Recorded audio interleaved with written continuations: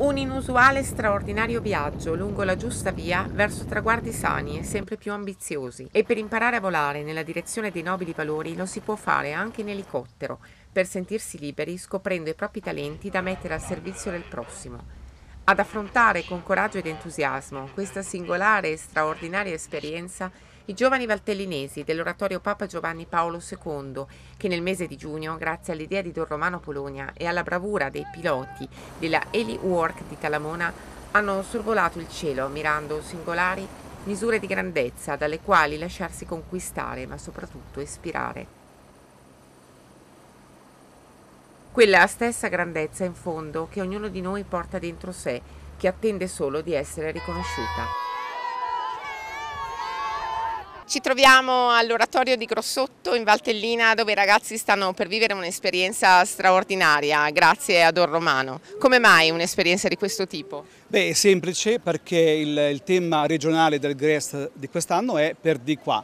Quindi eh, ho pensato di far vivere ai ragazzi l'esperienza di un viaggio, o meglio di un volo, perché non è tutti i giorni vivere questa esperienza, cioè l'esperienza di poter eh, volare in alto e quindi di poter sperimentare cosa vuol dire il sogno o il desiderio di poter un domani, magari in mezzo a questi ragazzi, trovare un pilota per poter volare sempre più in alto e quindi eh, pensare che eh, dall'alto dove c'è il Signore Gesù che ci protegge, c'è qualcosa di più che vale la pena anche scoprirlo. Un amore immenso per i ragazzi e per la vita, quello di Don Romano, che ogni anno durante il Gresta insegna ai suoi giovani a scrollarsi di dosso la pigrizia, a lottare con rispetto e a diventare fedeli alla propria vocazione esistenziale, condizione primaria per essere liberi.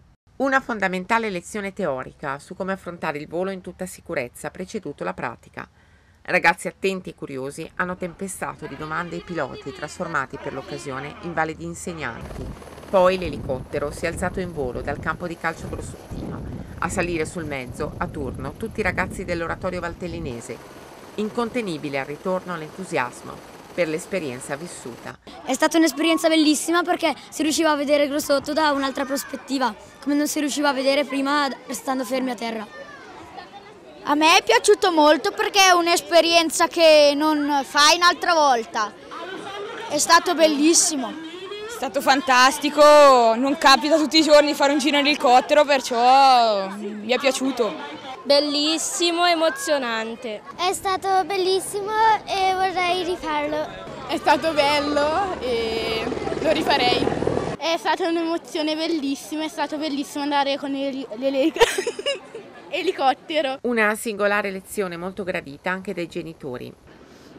È la prima volta che vola vostro figlio? Sì, e questa era sicuramente un'ottima occasione da fargli fare, un'esperienza emozionante, bellissimo. Il mio vola e quando arriva sopra casa lo buttano giù. Il mio era emozionato da stamattina. Le mie due sono a bordo ora, fantastico. Grazie.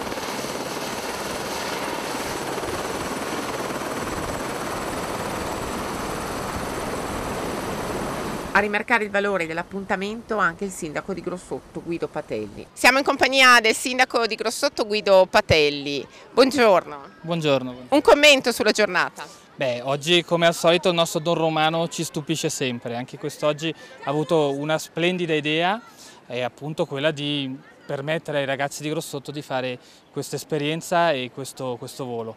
Come solito poi a, a, quello che può essere la giornata eh, è riuscito a riempirla di contenuti come lo abbiamo sentito oltre all'esperienza eh, della giornata è legato poi tutto quello che è il programma e un'esperienza educativa che è sempre importante per i, per i ragazzi. Unire questi tipi di attività così fantasiose, sicuramente così attrattive per loro sarà di ricordo negli anni che, che li vedranno crescere e diventare grandi e uomini.